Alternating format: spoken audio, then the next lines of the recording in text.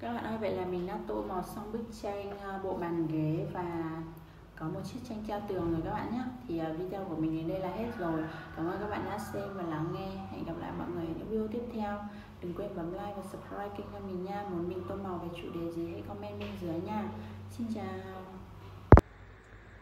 Hello, xin chào các bạn. Chào mừng các bạn đã quay trở lại với channel tô màu của mình. Hôm nay mình sẽ à, hướng dẫn các bạn tô màu bức tranh. Đó là một bộ bàn ăn các bạn nhé. Và ở đây có một bức tranh treo tường. Thì à, cùng bắt tay vào tô màu với mình nha. Đầu tiên mình sẽ tô bức tranh treo tường này trước. Ở phần cỏ hoa lá mình sẽ tô màu xanh lá cây.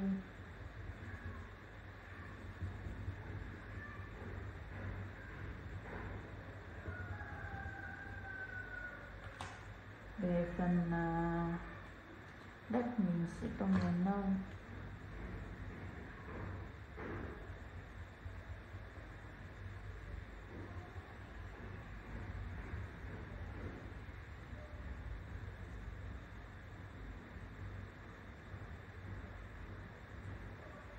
khung ảnh hôm nay mình sẽ tô màu tím nha.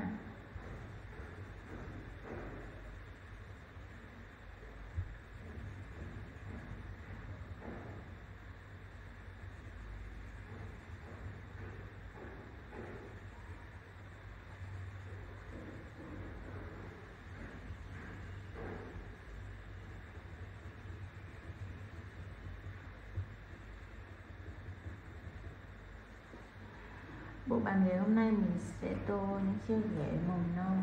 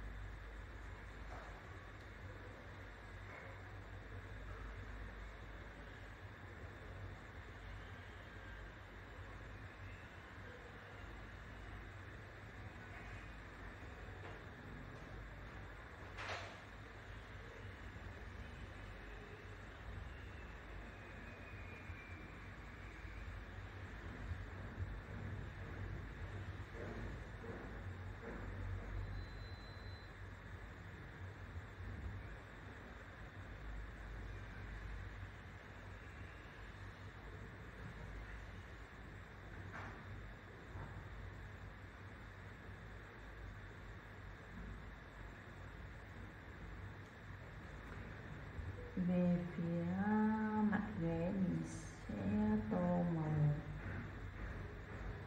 đỏ. Hoặc là chúng ta sẽ giữ nguyên màu trắng không tô các bạn nhé. Mình sẽ giữ nguyên màu trắng đi. Để lát nữa khăn trải bàn mình sẽ tô màu đỏ.